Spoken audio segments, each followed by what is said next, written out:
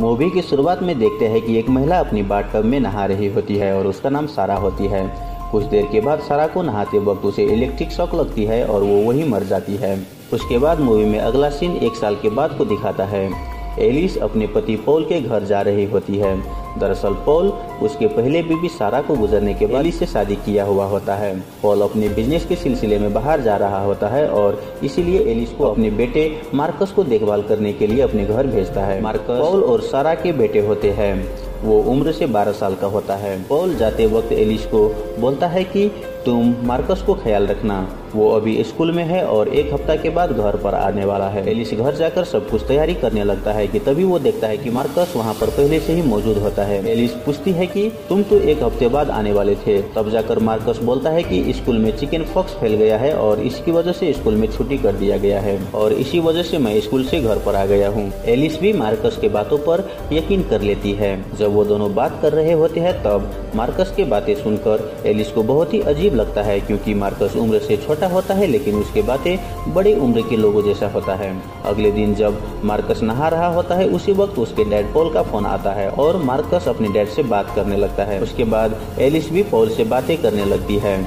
जब Alice Paul से बातें कर रही होती है, तब जाकर मार्कस उसके पीछे से बहुत गंदे तरीके से उसे छूने लगता है। एलिस को बहुत ही गुस्सा आता है, लेकिन वो मार्कस को कुछ कहे बिना ही वहाँ से चली जाती है। कुछ इसी तरह से दिन गुजरता रहता है और मार्कस की बिहेवियर पहले से बहुत ही अजीब होते जा रहा होता है। वो हर वक्त एलिस को गंदे नज़र से देखता रहता है और मार्कस ठरकी बनते जा रहा होता है। वो हर वक्त एलिस को पटाने की कोशिश करते रहता है। कुछ दिन के बाद पॉल भी आ जाता है और उन लोगों के साथ रहने लगता है। उसके बाद मार्कस बहुत ही अजीब हरकतें करने लगता है। वो एक बार एलिस को कहकर अपने डैड के कुछ पैसे ले लेते हैं। जब एलिस देखती है, तब जाकर वहाँ पर एक भी पैसा नहीं होता है।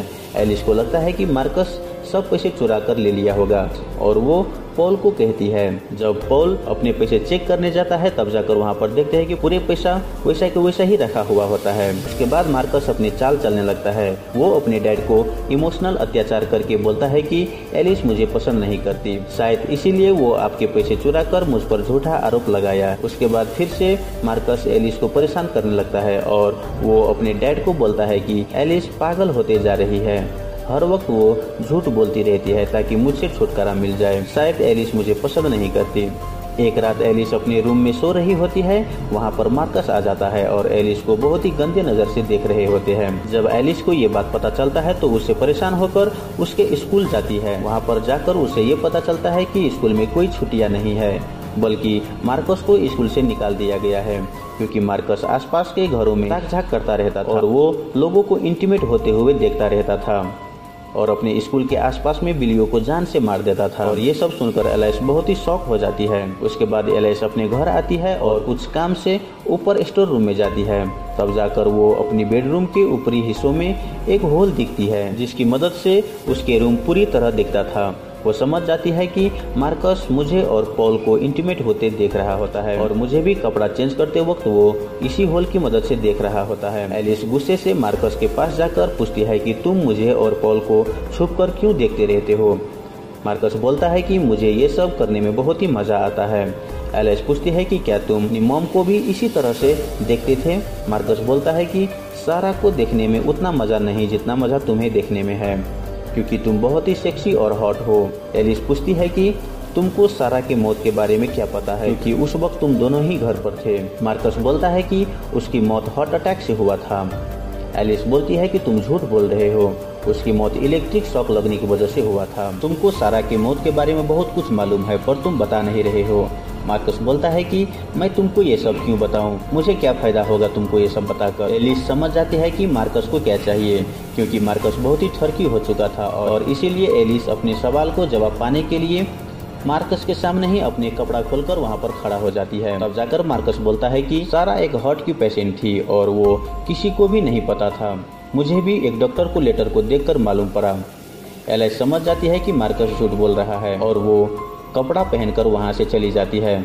उसके बाद एलिस पॉल को बताती है कि मार्कस हम दोनों को इंटीमेट होते हुए एक होल की मदद से देखता रहता है और एलिस पॉल को वो होल दिखाने ले जाती है। लेकिन वहाँ पर कोई होल होता नहीं है।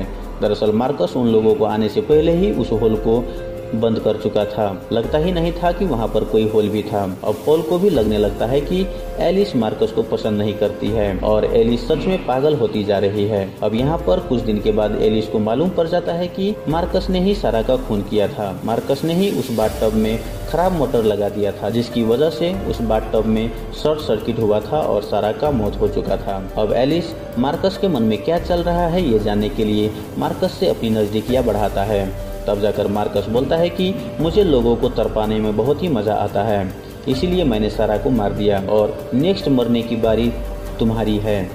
ये बातें सुनकर एलिस को दिमागी हालत खराब हो जाता है और वो सोच में पड़ जाती है, क्योंकि उसकी बात को कोई भी यकीन नहीं कर रहा होता है। पॉल भी उसके बातें पर यकीन नहीं करता है। मार्कस की बातें सुनकर एलिस को बहुत ही सदमा लगता है और वो दिन भर सोच में पड़ जाती है, जिसकी वजह से पॉल को भी लगने लगता है कि एलिस सच में पागल हो चुकी है। अब एलिस की हालत इतनी खराब हो जाता है कि उसको मेंटल हॉस्पिटल में भेज देता है। एलिस को सपने भी आने लगता है कि मार्कस उसे मारने आ रहा है और वो अपनी जान बचाने के लिए मार्कस को मारने की कोशिश करती है। कुछ महीने के बाद एलिस की बिहेवियर में सुधार आते देख मेंटल हॉस्पिटल से उसे डिस्चार्ज कर देता है। एलिस घर आ जाती है और वो पॉल और मार्कस के साथ पार्क में घूमने जाती है। एलिस अब नॉर्मल हो चुकी होती है। पॉल और एलिस दोनों पार्क में बातें करते हैं। वहीं मार्कस अपने डॉग को घुमा रहा होता है। कुछ देर के बाद एलिस मार्कस से बातें करने जाती है। और वो दोनों सारा के मौत के बारे में बहुत ही रिलैक्स होकर मज़ाक कर रहे होते हैं। जैसे कि सारा की मौत कोई सीरियस बात ही नहीं थी। एलिस भी मार्कस की तरह अजीब बातें करने लगती है, जिसकी वजह से मार्कस एलिस को बोलता है कि मैं अब तुम्हें नहीं मारूँगा, क्योंकि तुम अब मेरे जैसे बन चुकी हो। वो दोनों बात करते वक्त एलिस मार्कस के साथ एक प्लान बनाती है कि वो दोनों पॉल को मारकर कहीं दूर चले जाएँगे और वो दोनों एक साथ रहेंगे। ये बात बोलकर एलिस मार्कस को किस कर लेती है। मार्कस को भी इसमें बहुत ही मज़ा आता है। वहीं पार्क के नज़दीक एक रोड होता है, जहाँ पर एक कार बहुत ही तेज़ी से आ रहा होता है और एलिस उस कार को आते देख लेती है। उसके बाद एलिस मार्कस के डॉग को एक टॉय ज़ोर से रोड की तरफ़ फेंक देती है। और डॉग उस टॉय को लाने के लिए रोड की तरफ़ भागने लगता है। डॉग को भागते देख मार्कस भी उसके पीछे पीछे भागने लगता है और वो तेज़ी से आ रहे कार के साथ टकरा जाता है, जिसकी वजह से मार्कस के मौत वहीं पर हो जाता है। अब यहाँ पर एलिस मार्कस के डेड बॉडी को देख के खुश हो जाती है और वो सोचती है कि फाइनली उसका प्लान काम कर गई। अब एलिस आज़ाद हो जाती है और ये मूवी यहीं पर ख़त्म हो जाता है।